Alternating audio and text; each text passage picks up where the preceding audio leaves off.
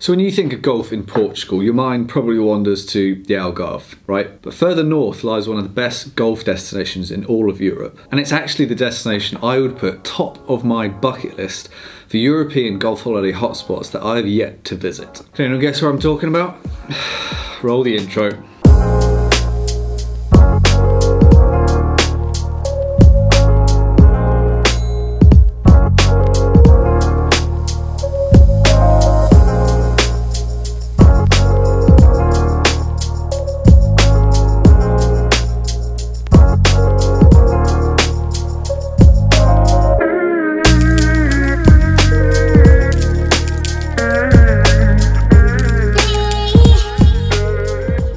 So yes, ladies and gents, I'm talking about Lisbon, the capital city of Portugal, but not only the capital city, the stretch of coastline down the west, just south of Lisbon itself, which definitely in my mind is one of the best golf destinations in Europe, and certainly one, as said at the start of the video, that I am desperate to go and visit myself. My one and only experience of Lisbon is actually a bit of a funny one. It was when Mark Crossfield, Coach Lockie and I were actually on the way back from the Azores uh, if anyone who doesn't know where they are, check them out on a map. Pretty remote location. So we stopped in Lisbon for a layover before flying back to the UK. We had about nine to 10 hours before we actually got on the plane back to the UK. So we thought, well, we're not going to sit around at the airport all day.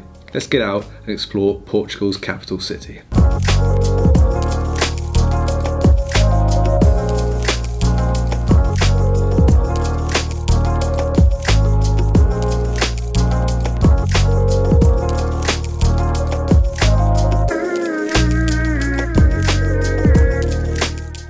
To be honest, usually I'm not much of a city guy, I'm a bit more of a country boy, but I have to say Lisbon itself was unbelievably beautiful and I really, really enjoyed our day out. So that kind of sparked my interest in the region as a golf destination. So if like me, the idea of spending a couple of days in the Portuguese capital, seeing the sights and the sounds of an amazing city, mixed with some pretty amazing golf courses, more on those later.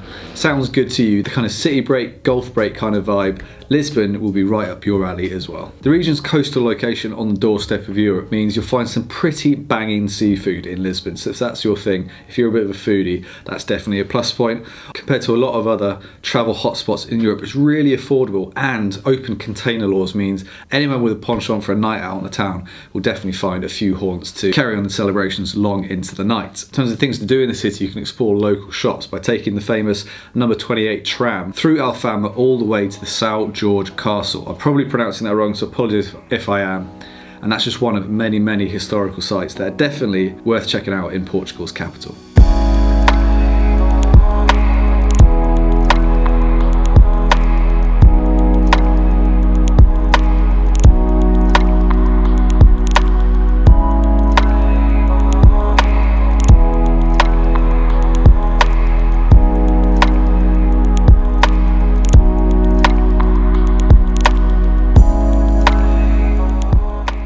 That's one of the things that struck me about Lisbon was just how beautiful the architecture was. Really stunning, really charming, and if you chuck in sunny skies, you've got a good recipe for a nice day out in the city in between rounds of golf. And obviously, with such an amazing coastal location, Lisbon's offers pretty easy access to a lot of pretty stunning beaches as well. Little towns like Estoril and Cascais have these gorgeous, calm, south-facing beaches. And for anyone with an eye on the waves as well, Lisbon's also pretty well known for several world-class surf spots dotted up and down the coastline as well. Speaking of golf though, golf arrived in Lisbon around the turn of the 20th century. Now there's 25 facilities to choose from, which basically offer a choice of 29 9 or 18 hole golf courses. So when it comes to Quantity, Lisbon certainly ticks a box, but what about quality? Well, as you all know, I absolutely love golf, and the reason why I've got Lisbon pretty high up on, or at the top of my European golf holiday bucket list, um, obviously the city, as I said, was definitely a plus point, but some of the golf courses that arrived in this region in recent years and in years a bit further down the line look absolutely mind-blowing. And I've actually spoken to quite a few friends who are members of my golf club, people who have worked at Your Golf Travel and have been lucky enough to get out there and yeah, the golf courses in and around Lisbon look utterly, utterly amazing.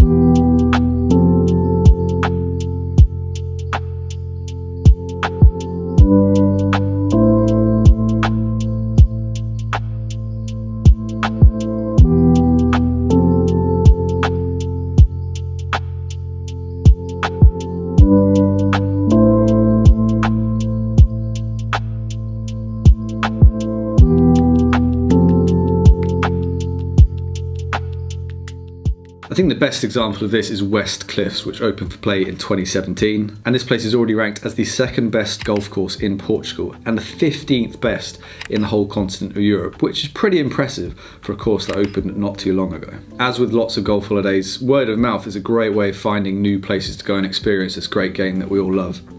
And yeah, people from YGT, friends, family members have waxed lyrical, specifically about West Cliffs and some of the other courses in the Lisbon region too.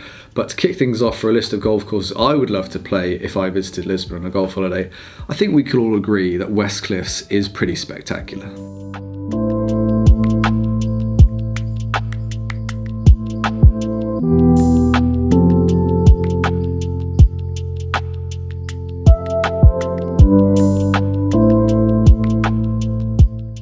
Similarly to West Cliffs, Praia D'El Rey and Oitavos Dunes both offer a link style challenge. Obviously these aren't true links courses, um, but with their amazing seaside locations, when the wind gets up, it will definitely come into play and challenge your skill set. So if a bit of coastal golf with the wind as part of the challenge floats your boat, these courses look pretty epic to me. Troia as well, by the way, is another seaside lovely, which you actually can get the ferry out to, which I think is pretty cool, certainly adds to the experience. And as I said, I think these courses look pretty epic, but don't just take my word for it, don't just go off the photos that have been rolling on this video as well. The courses I've mentioned have an average rating of 8.7 out of 10 on the Your Golf Travel website, which come from reviews from you guys, customers and clients who've been out there and experienced these places firsthand. It's not all seaside golf here though, and Lisbon is actually home to a lot of golf courses that you guys might more readily associate with Portugal golf holidays. These kind of lush parkland, tree-lined, gorgeously maintained golf courses with huge gleaming white bunkers and water hazards providing much of the challenge. Lots of these kind of courses, such as Penha Longa for example, can be found at resorts or golf resorts. So while I kicked off this video with the notion of combining a few days in a city where there's plenty of obviously accommodation options which you can strike out to various golf courses from, Lisbon also ticks that box for the quintessential Portugal golf holiday where you get to the resort, you're based in one location, you don't have to do any travelling if a few days in Lisbon city itself isn't on your list, the kind of roll out of bed and onto the first tee experience, which a lot of golfers are definitely in the market for. Lisbon definitely ticks boxes for these people.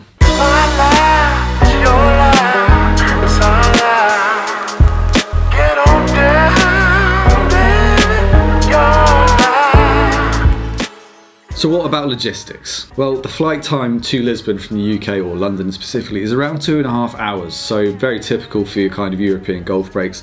Very convenient. You can get up early in the morning, be on the first tee just after lunch. And once you're there, a lot of the golf courses are within half an hour's drive of the airport, some a little bit closer, some a little bit further away, such as West Cliffs, which can be just over an hour's drive from Lisbon airport itself. So no matter which courses you opt for on your Lisbon golf holiday, the convenience factor and the ease of travel is definitely there. There aren't going to be too many long drives. Temperature wise, uh, Lisbon does get a little bit chilly in the winter months, but really any time from late February right the way through to November, golfers can definitely expect a pleasant climate with temperatures that might climb up to an average daily temperature around the 25 26 degree mark. Obviously, we're talking summer months here. Think June through September kind of stuff. These months is obviously the best time to head out there if you're looking to work on your golfer's tan as well as your golf swing. So there we have it guys and girls, that is a little snapshot of what is on offer in the Lisbon region of Portugal when it comes to golf holidays. Is this place on your radar for your next golf holiday? Have you been there already? If so, which courses do you guys love the most? Where did you stay? Where did you play?